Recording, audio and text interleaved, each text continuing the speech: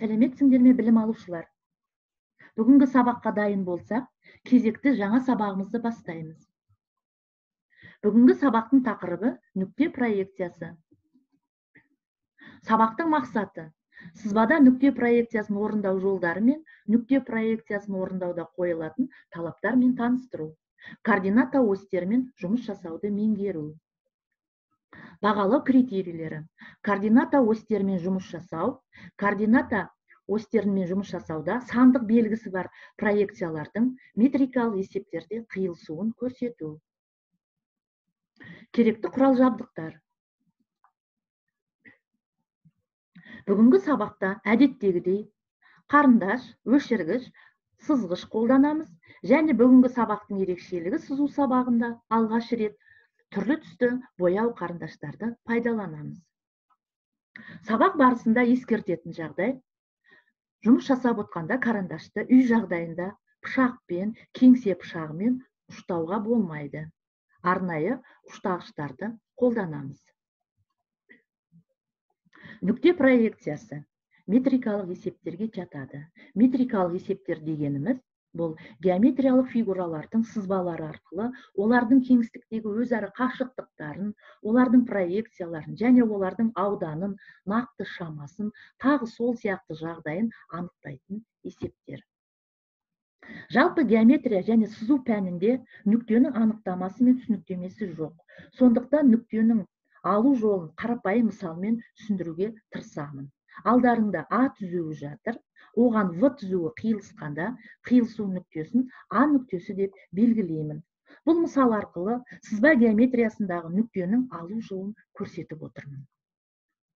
Енді сабақ барысында бүгінгі жаңа тапсырма жаңа тақырып бойынша картадағы шамалар бойынша жұмыс жасаймыз.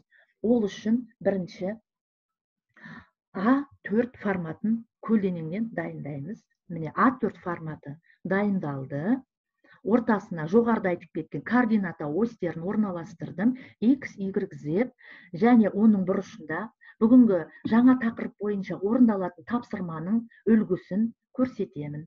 Ескертетін жағдай студенттер алдыңғы сабақтарда видео сабақтарда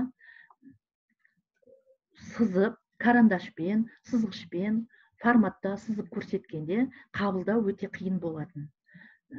Бүгінгі сабақта бүгінгі тапсырманың қабылдануына жеңіл болу үшін мен анимациялық бейнелерді қолданып отырмын. Яғни бүгінгі сабақты анимациялық негізде түсіндіруге тырысамын.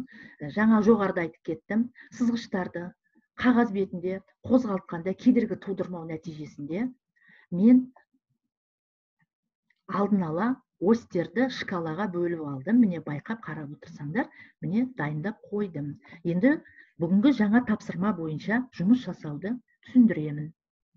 Міне x y z осьтерінің астында өлшемдік шамалары көрсетілген және а в с д е ф л м нүктелері көрсетілген. Олай болса бірінші жұмысты бастаймын.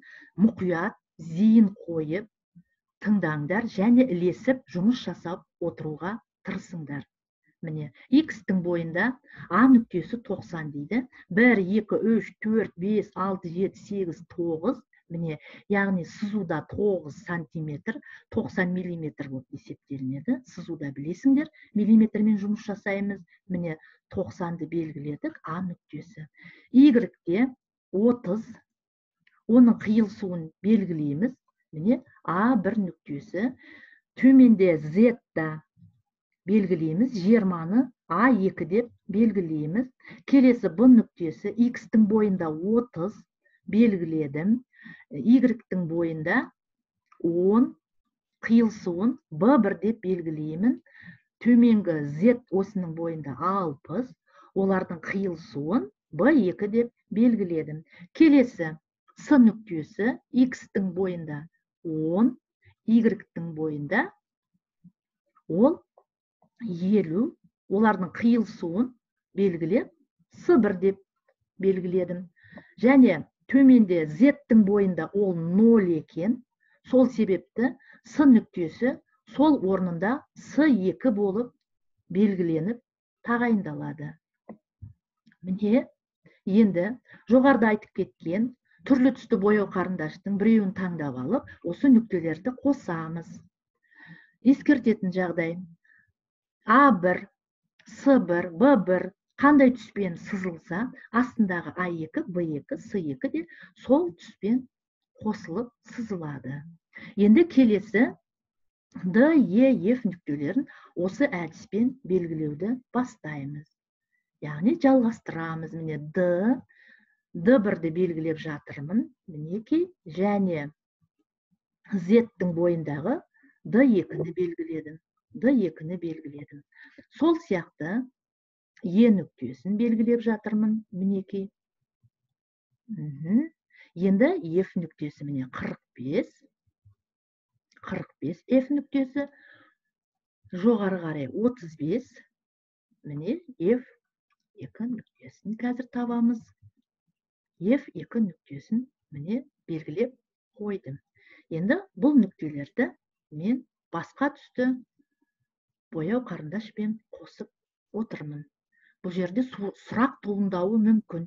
Неге? Д екі f екі е екі бұрышты болып көрсетілсе жоғарғы жағында неге бір сызық болып көрсетіліп тұр деп. Себебі д бір f бір е бір нүктелері бұлар бір сызықтың бойында жатыр. Келесі байқап қарасаңдар міне нүктелердің алдынан және үстіне қараған проекциясын сыздық енді біз бұның үшінші проекциясын орналастыруымыз керек. Мынаға мұқият қарасақ бұнда үшінші проекцияны салатындай сандық шамалар жоқ. Демек біз бірінші және екінші көріністі пайдалана отырып және мынау сызылған 45 градус бұрышта сызылған көмекші сызықтардың көмегімен біз үшінші көріністі салып көрсетеміз. Мінекей ілесіп отырамыз. Міне а нүктесі өзінің бойында қалды. А үш деп белгіледім. Енді б нүктесі. Міне мына сызыққа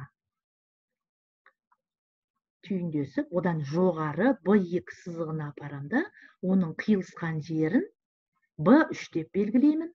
С нүктесі де солай. Жоғарыда айтып кеттік ол жаңағы осьтің бойында жатыр. Міне с екі мен с бірдің белгіленуі қосылуын с үш деп белгіледім.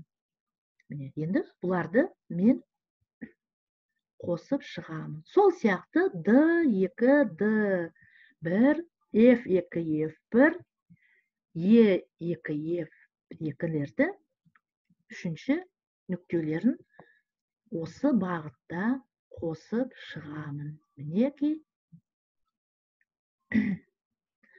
еф үш дайын болып қалды. Міне енді бәрін белгілеп шықты. Бұларды арнайы алынған көк қарындашпен белгілеп қоямыз.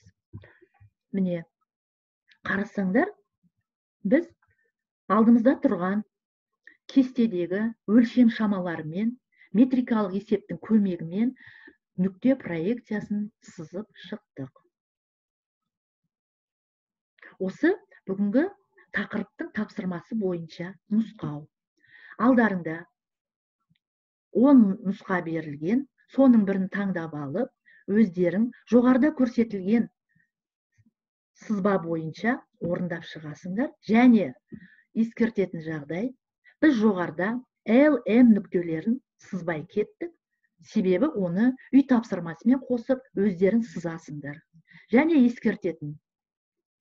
Бұны lm нүктесін басқа үшінші бояу түсімен көрсетесіңдер. Күтілетін нәтиже. Сызу құралдарын пайдалана отырып таза және толық аяқталған сызба жұмысы бастысы ұқыптылық және жауапкершілік. Жұмыс жасау кезінде мен түсіндім маған қиын болды маған ұнады деген кері байланыс белгісін жұмыстың шетіне қоюды ұмытпаңдар. Осымен сабағымыз аяқталды. Сау болыңдар. Назарларыңызға рахмет.